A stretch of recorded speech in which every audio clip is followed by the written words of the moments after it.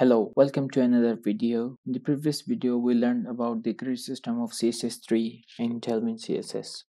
And we mentioned about the flex as but in this video we will learn about flex so these both are like twins for me and either you use can have its own advantages so when you use grid that is multi-dimensional you can use it horizontally and vertically but when you use the flex it is uh, one dimensional either you use it as a row or use it as a column. So if you want structures or sections like the one that we built previously so definitely you have to choose the grid over the flex. And if you want some simple type of structure for example two or three columns aligned with each other so on that time you can use the uh, let's uh, start with the flex. But before that let's give some title for the for our two sections and, then uh, we'll compare that what can what we can do with the grid and with the flex.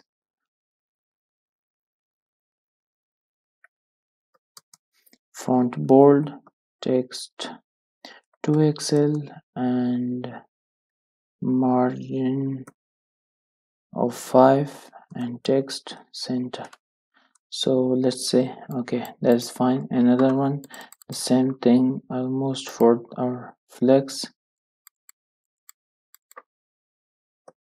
Flex. Okay. So now we are ready. As in grid we had uh, we should we should create a container or a parent div. Inside that we will create two or three elements. Suppose we will create three elements. So three elements with some content inside it uh, like lorem okay so uh, I'll just give it a background color. Copy it multiple times.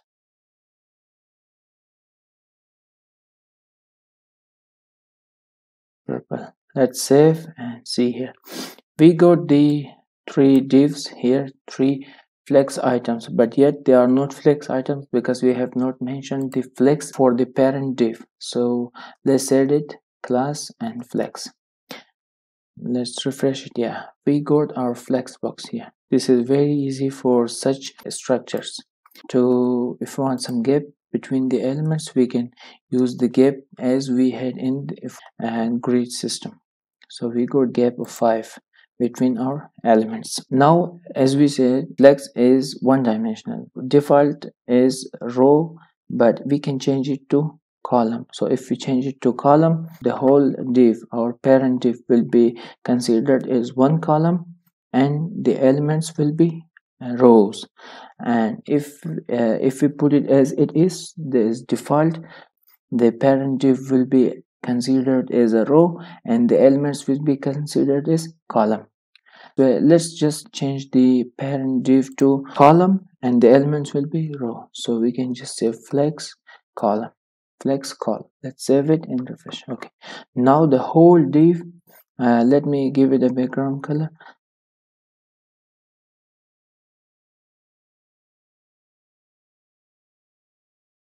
yeah we can see the whole um, parent div is considered as a one column and this three divs that is inside the whole div are uh, like considered as row. We can just change it again to flex row. So the whole div will be as a row and the elements or items will be considered as a column. And that's it for that. Uh, uh, we can just reverse the order the purple is at then we can bring it to uh, front. Like we can say uh, flex row because that is the default reverse. Okay, so now we can see that the purple was here but we got it here. That is uh, uh, reversing the order.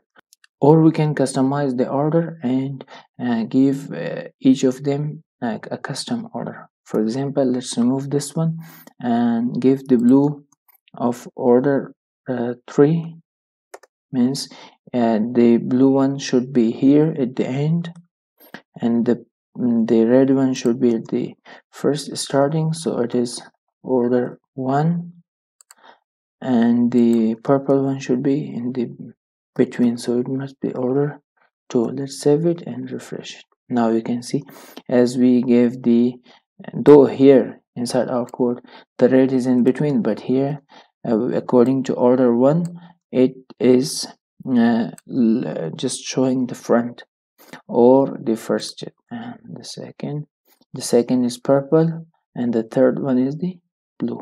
So let me remove these orders and check some more uh, details about this one